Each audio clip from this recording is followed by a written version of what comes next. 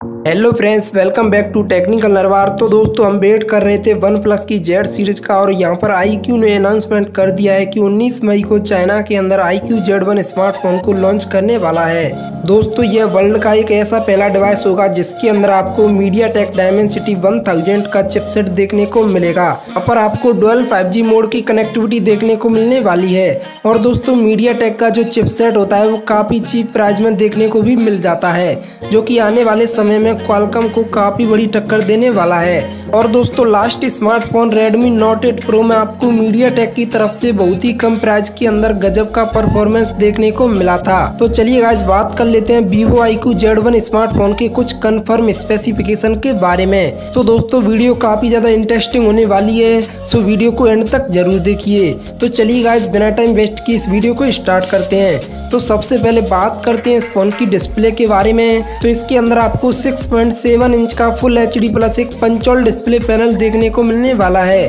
जहाँ पर आपको 144 फोर्टी का रेफ्रेश रेट देखने को मिलेगा, जिसको आप मन मुताबिक कंट्रोल कर सकते हैं। क्योंकि तो इस डिवाइस के अंदर आपको 60 हर्ट्स 90 हर्ट्स 120 हर्ट्स और 144 हर्ट्स का रेफ्रेश रेट वाला सपोर्ट देखने को मिलेगा। सो अगर आप पबजी खेल रहे हैं तो हाई रेफ्रेश रेट के साथ गेम खेल सकते हैं, ताकि आपको एक अच्छा एक्सपीरियंस देखने को मिले। तो इसके अंदर आपको MediaTek Dimensity one plus का एक पावरफुल चिपसेट देखने को मिलने वाला है, जो की फाइव कनेक्टिविटी को सपोर्ट करेगा।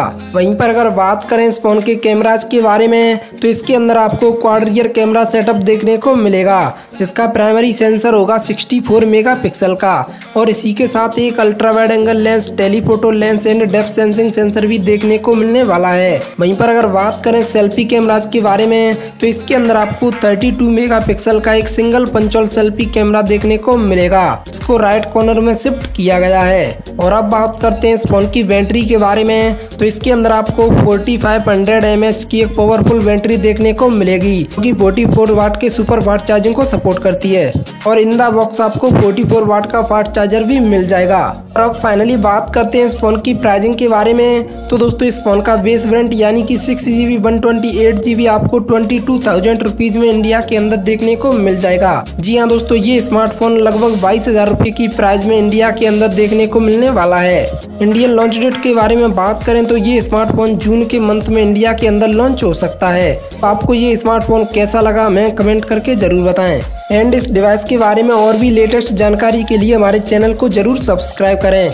आपको वीडियो अच्छी लगी तो वीडियो को लाइक करें और दोस्तों के साथ शेयर करें। तो हम मिलेंगे आपसे एक और न्यू इंटरेस्टिंग वीडियो में। तब तक के लिए गुड बाय।